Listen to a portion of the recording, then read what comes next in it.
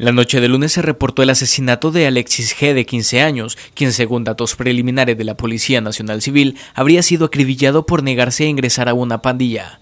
El hecho ocurrió en San Pedro Perulapán, Cuscatlán, en el sector conocido como La Pilona del cantón San José el Espino. Según los familiares, el menor se encontraba alimentando a un novillo a la entrada de su vivienda cuando fue atacado por delincuentes armados que le dispararon y luego se dieron a la fuga. La PNC no reportó capturas por este hecho. Con imágenes de Francisco Alemán, informó para la prensa gráfica.com Milton Jaco.